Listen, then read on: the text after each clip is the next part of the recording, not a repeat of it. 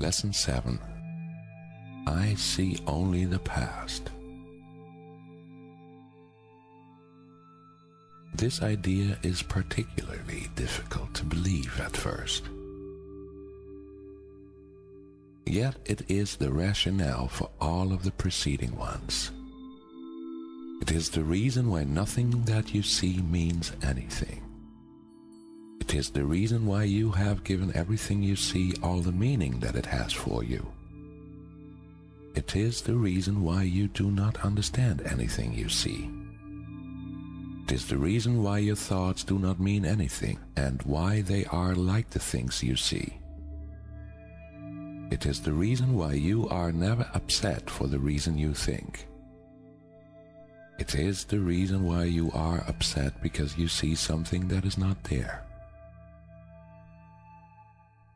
Old ideas about time are very difficult to change because everything you believe is rooted in time and depends on your not learning these new ideas about it. Yet that is precisely why you need new ideas about time. This first time idea is not really so strange as it may sound at first. Look at a cup, for example. Do you see a cup or are you merely reviewing your past experiences of picking up a cup, being thirsty, drinking from a cup, feeling the rim of a cup against your lips, having breakfast, and so on? Are not your aesthetic reactions to the cup too based on past experiences? How else would you know whether or not this kind of cup will break if you drop it? What do you know about this cup except what you learned in the past?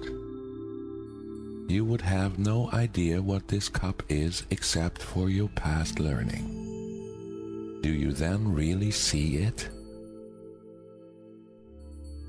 Look about you. This is really true of whatever you look at. Acknowledge this by applying the idea for today indiscriminately to whatever catches your eye.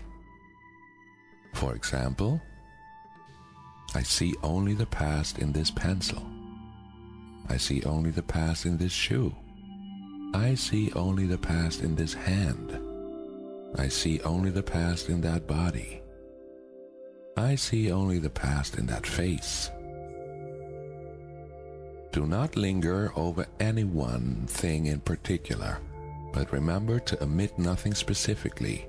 Glance briefly at each subject and then move on to the next. I see only the past.